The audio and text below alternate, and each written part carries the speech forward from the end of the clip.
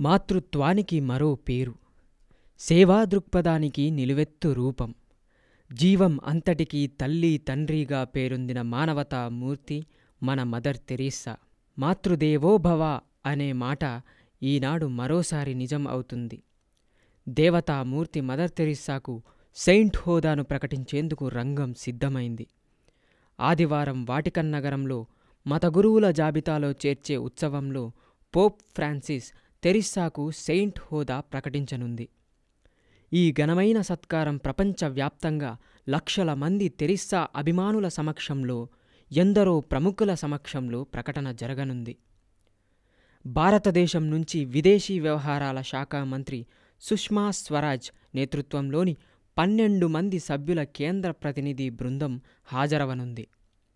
Delhi CM Arvind Kejriwal పశ్చిమ Bengal CM Mamata బెనర్జీల ఆధ్వర్యంలో రెండు రాష్ట్రాల ప్రభుత్వ ప్రతినిధుల బృందాలు ఈ కార్యక్రమానికి హాజరు కానున్నాయి మదర్ తెరిస్తా స్థాపించిన missionary of charity superior general mister Mary Prema ఆధ్వర్యంలో దేశంలో విభిన్న ప్రాంతాలకు చెందిన నలభై యాభై మంది ఆమె స్ఫూర్తిని అందించిన మానవత్వ సేవలను చాటుతూ ఈ కార్యక్రమాన్ని నిరుపేదలతో కలిసి జరుపుకోనున్నట్లు నన్స్ పేర్కొన్నారు. ఆమె మరణానంతరం మదర్కు సంబంధించిన రెండు అద్భుత మహిమలు చోటు చేసుకున్నట్లు చర్చి గుర్తించిన నేపథ్యంలో ఈ హోదా కల్పించనున్నట్లు పేర్కొన్నారు.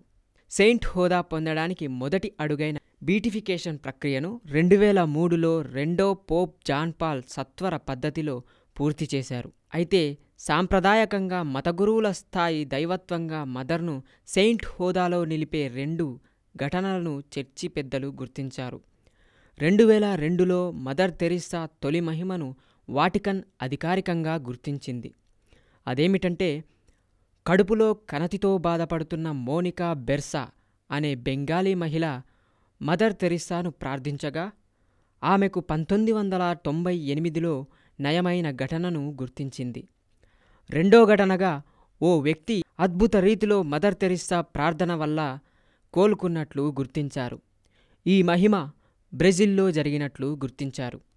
ఈ కార్యక్రమాన్ని పురస్కరించుకుని ప్రణబ్ ముఖర్జీ మాట్లాడుతూ మదర్ తెరిసాకు పునీత హోదా ప్రకటించడంపై భారతీయులంతా గర్వించాలని పేర్కొన్నారు.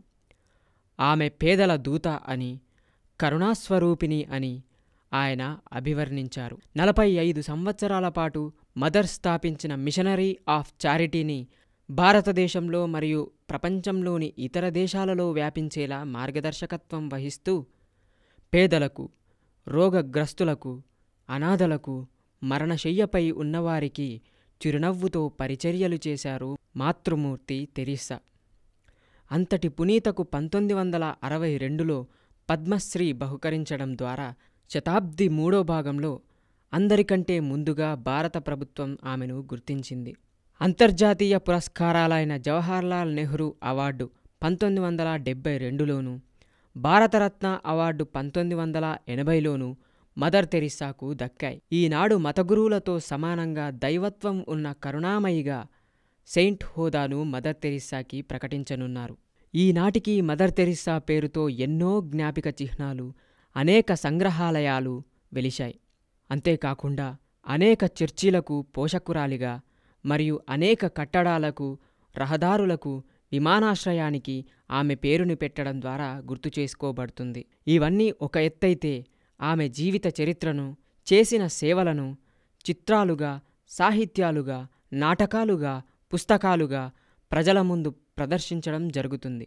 అలాంటి మదర్ తెరిస్సాకు పూజ్యాభావంతో నమస్సుమాంజలి అర్పిస్తుంది అమేజ్ టీవీ.